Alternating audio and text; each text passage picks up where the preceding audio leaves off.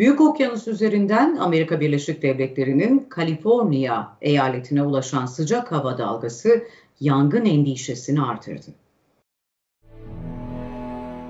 Amerika Birleşik Devletleri'nin Kaliforniya eyaletinde de kavurucu sıcaklık etkili.